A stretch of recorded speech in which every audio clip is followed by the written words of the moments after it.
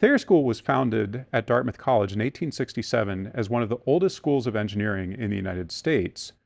We believe that engineering is part of the liberal arts, and we also depend on the liberal arts to inform our engineers. In this way, we say this is engineering in the liberal arts.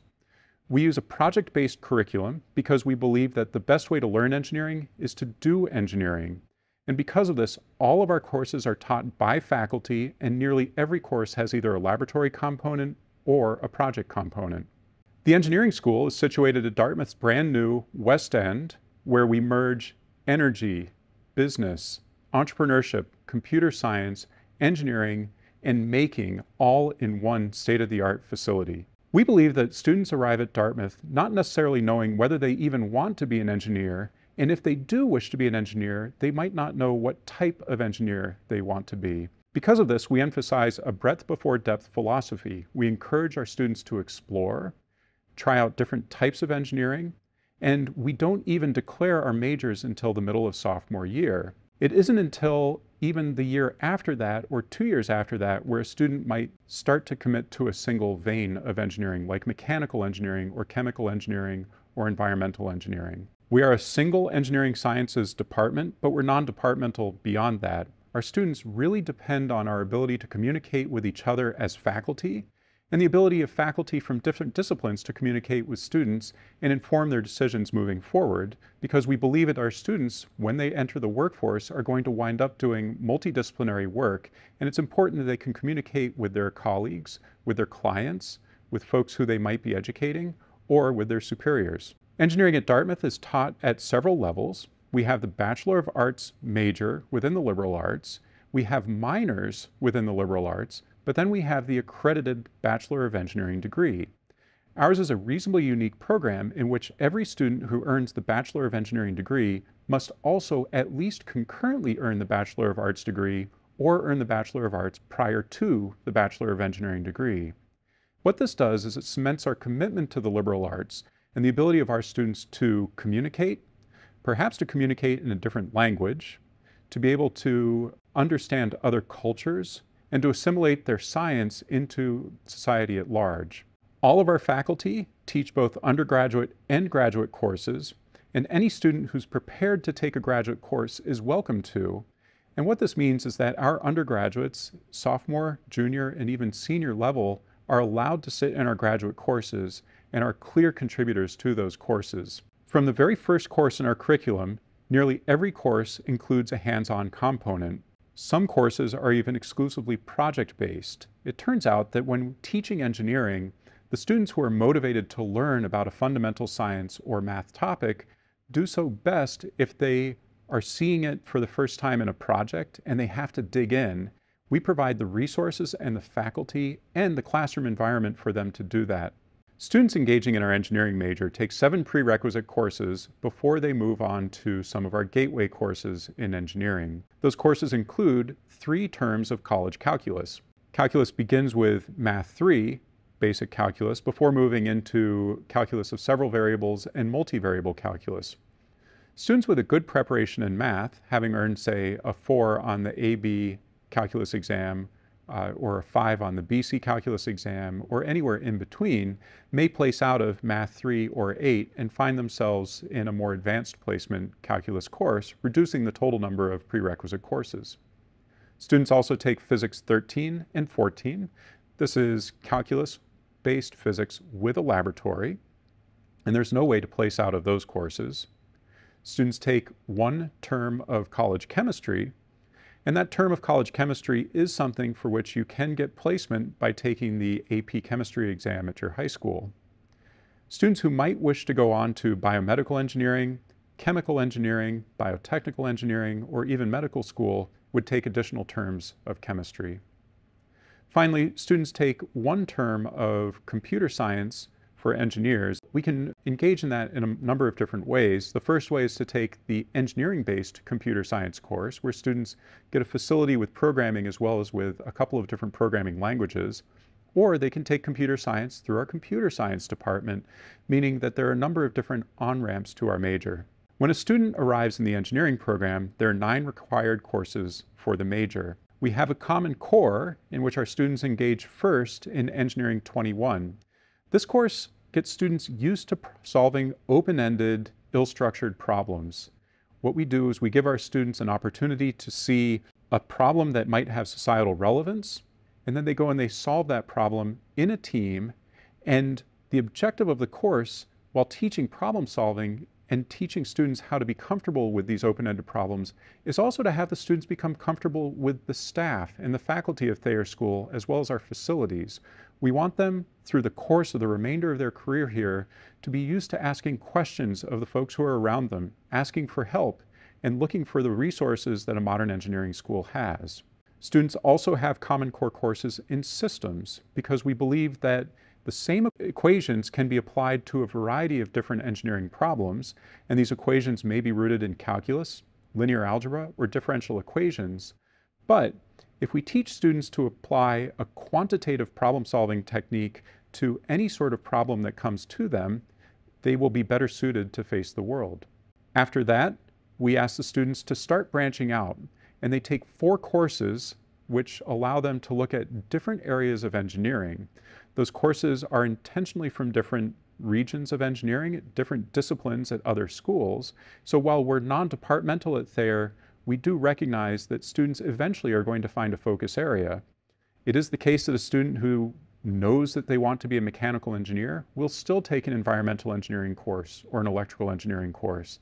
Those students who are biotech engineers might in fact want to take a look at fluid dynamics and try that out. We also ask the students to focus on a couple of core science courses in engineering like material science or thermodynamics or embedded systems to give them a strong foundation and toolbox from which they can draw when they get to more applied courses. After taking those first four courses in engineering, which are quite broad at their base, students are allowed to choose electives. These electives are typically two courses of their choosing in the engineering sciences, and by Dartmouth rule, one of them has to be a culminating experience, which means that it includes a large project or a large laboratory or a large writing assignment at the end. What I just described is the Bachelor of Arts major at Dartmouth College, and this certifies that students are quantitative problem solvers, but they don't yet have necessarily depth in any one area of engineering. They get this depth through the Bachelor of Engineering program. So beyond the requirements that I just described to you, the ABET accredited Bachelor of Engineering degree has nine additional courses where a student might become a disciplinary engineer, where they could describe themselves as a mechanical, chemical, environmental, or energy engineer. Students can do this program in the first four years at Dartmouth, or they could choose to do it in one, two, or even three extra terms. The benefit to this is that students can pursue athletics, a second major, a minor, additional foreign study, or they could just decompress their technical courses. It also happens to give the students one extra summer where they can pursue an internship. We can consider our engineering program in the undergraduate world as being majors, modified majors, and minors. We do have three engineering majors, including engineering sciences, biomedical engineering, and engineering physics.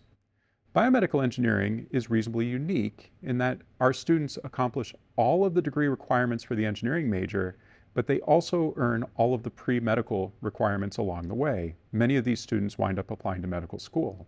We have modified majors at Dartmouth, and I'm sure you've heard of these before, but a modified major is typically six courses from a lead department and four courses from another department, and they form together to make a unified whole. We have pre-approved modified majors at the Thayer School of Engineering, including Engineering Modified with Studio Art, which happens to be one of our most popular majors. Students from that modified major will actually go on to architecture school or to a design firm. Finally, we have minors, including our materials science minor in conjunction with physics and chemistry, the engineering sciences minor, or the human-centered design minor, in which students learn quite a bit about human-centered design and how to put problem solving in the context of the broader world. Dartmouth Engineering is unique in the focus that we give to our students. For instance, 25% of Dartmouth students are varsity athletes, and that percentage is no different in the engineering school. We support our athletes as well as those students who are in the arts, whether it's the performing arts or in studio arts, or those students who are participating in campus clubs, We support them in the same way that we support all of our other students. And because our program is flexible, both in terms of when you take your courses, but also over what period of time you take your courses, students find that they can be an athlete and an engineer, or an artist and an engineer.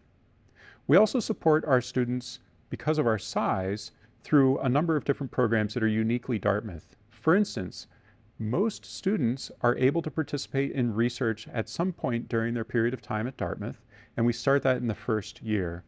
We have a program for, called First Year Research Experiences for Engineers, as well as a program called the Women in Science Program, where first year students are able to come into our laboratories and work with us in a paid internship to actually join in the creation of knowledge beyond the standard transfer of knowledge that takes place in the classroom. We provide an extraordinary amount of help to students who haven't even been in the engineering school yet because we know that part of the challenge of engineering is learning the prerequisite structure, the prerequisite classes, and those topics. So what we do is five nights a week, we stage Dartmouth Emerging Engineers, where we provide tutoring sessions for students in the prerequisite courses. We also have a number of study abroad opportunities within the engineering school. Study abroad at Dartmouth is a very popular thing, and in engineering we have five such opportunities. Students can join exchange programs in Auckland, New Zealand, in Denmark, in Hong Kong, and in Thailand. Students also have the opportunity to participate in a foreign study program in conjunction with the German Studies Department, where they learn about green cities through traveling to Germany and studying hand in hand with students in the German program. Students can also choose to pursue a language study abroad at Dartmouth or a foreign study program through other departments. And it turns out that many of the courses offered through the foreign study programs and other science departments may be used toward the degree requirements for the Bachelor of Arts or the Bachelor of Engineering. Because the Thayer School of Engineering is a professional school, after the Bachelor of Arts undergraduate degree, we have additional degrees available to students. These include the Bachelor of Engineering if a student wishes to stay for the fifth year, the Master of Science, which is a thesis-based graduate degree, the Master of Engineering, which is a coursework-based graduate degree, the Master of Engineering Management, which is a degree offered in conjunction with the Tuck School of Business, and the Doctor of Philosophy. After the first four years at Dartmouth, about half of our students stick around for the Bachelor of Engineering degree. The remainder go on to medical school, business school, or move on to a master's or a PhD-based program. When our students hit the job market, about 50% of them remain as practicing engineers. 40% are in business, and the remaining 10% are in professions such as law or medicine. Interestingly, when we look at our students 10 years after graduation, about 25% of them are in leadership positions, often called the C-suite, whether it's CEO, CTO, or CFO. Thayer School of Engineering has its own career services department, and the success of this department is reflected in our outcomes. Within six months of graduation, 90% of our students have a job, and the starting salary of that job last year was about $96,000. You'll find that those jobs include engineering firms, computer science firms, computer engineering firms, consulting firms, startups, giant companies, and many more. We appreciate the time you've taken to spend with us and learn a little bit more about our programs. If you're interested in learning yet more, we'd encourage you to take a video tour, come and visit us, or send our programs office a note with all of your questions. Thank you for your interest, and we hope we see you soon.